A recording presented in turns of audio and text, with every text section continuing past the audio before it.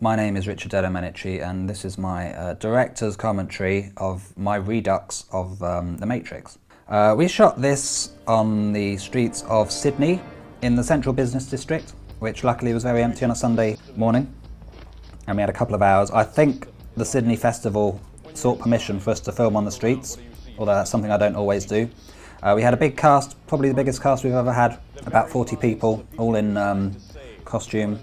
Uh, and our primary actors, uh, a guy called uh, Irvin, who was playing um, Morpheus, and Jackson, who's playing Neo. I thought they looked very similar.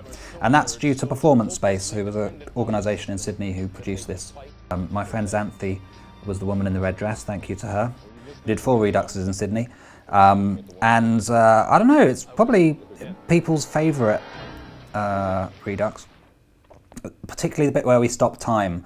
Originally I was going to use special effects to achieve this, but it would have taken too much time, so I just got everyone to stand very still, apart from one member of the public who's just walking in the background, didn't realise what we were doing. Ruins it a little bit, but hey, that's the, um, the spontaneity of the Redux project. We also had pigeons on sticks to sell the, the gag that we'd frozen time. That wasn't my idea, that was um, uh, Talia's idea. She worked at Performance Space. So thank you for that idea. That really helps to sell that we've frozen time, I, I, feel. And the costumes were great. We found a great leather coat, and um, the guy who was playing Keanu Reeves, Jackson, he was actually a bit too good. He, I think he was an actual actor. We don't normally use actors, but if, if, if one wants to be in it, I'm not going to say no.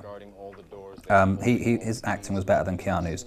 Uh, and it took me ages to put the reflection of Keanu Reeves into uh, Morpheus's glasses. That's what most of the editing time went on. I'm very proud of it though. I think it really helps to um, uh, to sell the, the gag.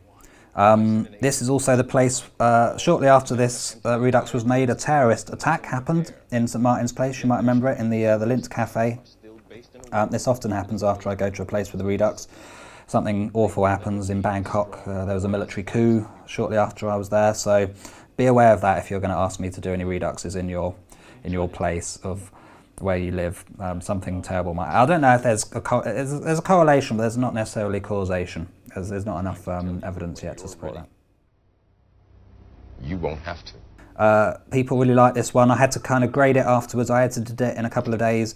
Um, and basically the grading involved making it go a bit green because that's kind of the general tone of the Matrix films is kind of green and um, we couldn't turn the fountain off so that's still going in the background. So yeah, we had loads of amazing participants and uh, I edited it and screened it a couple of days later at the um, Carriage Works in Sydney. And hundreds of people came and it got great reviews.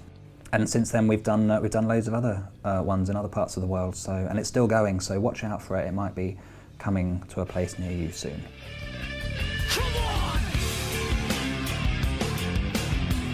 You want to have a look at any of the previous Reduxes, there's about 50 of them. Um, you can have a look at thereduxproject.com.